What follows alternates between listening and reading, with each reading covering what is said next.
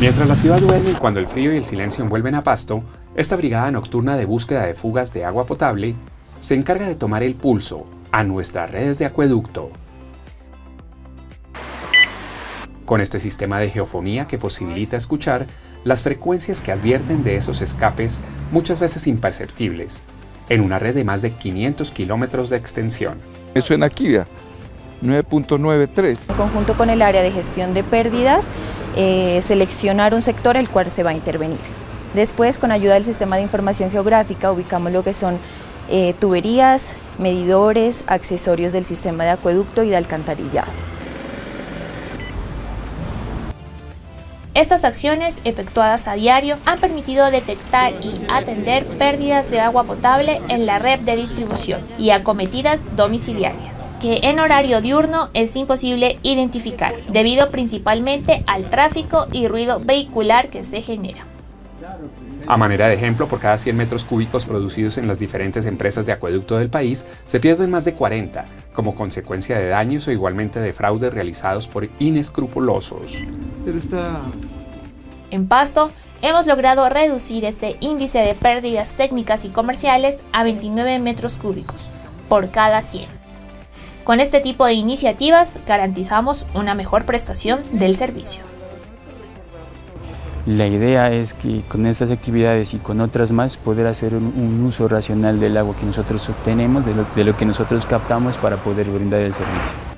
De esta manera trabajamos para entregar a la gran capital agua de calidad todo el día y todos los días.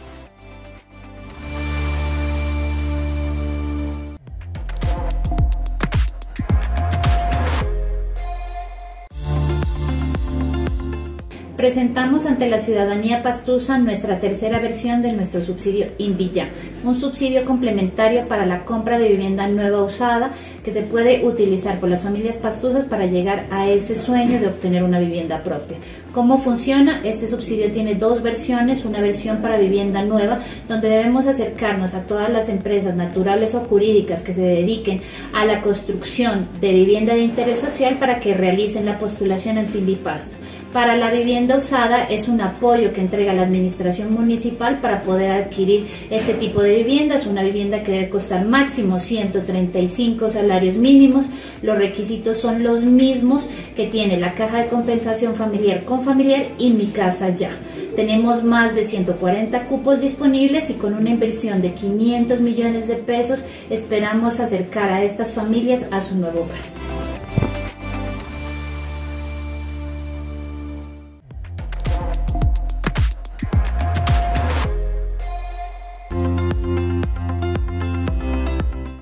Actualmente el panorama de la salud mental es un poquito desfavorable porque lastimosamente no nos sensibilizamos frente a la importancia que tiene nuestra salud mental.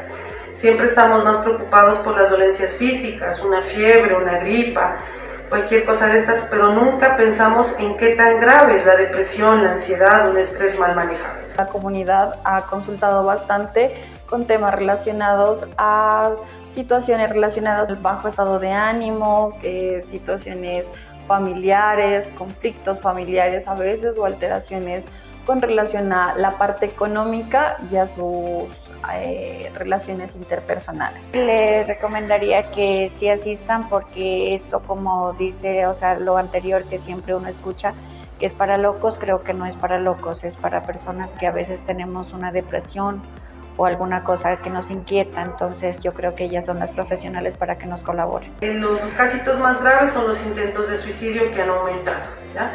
debido a que la gente todavía no tiene conciencia acerca de que el psicólogo no es para los locos. La gente no consulta psicología porque tiene la percepción de que no están locos. Y es lo que nos repiten a diario, que no van a psicología porque no están locos. Y esa no es la respuesta. La respuesta es tener mi salud mental a full para poder desempeñarme en mis actividades, ya sea de casa, trabajo, eh, estudio. Se han elevado bastante las consultas eh, ligadas al tema de salud mental, sobre todo en los jóvenes y en algunas personas adultas que de pronto han sido diagnosticadas con ansiedad y no han hecho un buen manejo de este diagnóstico.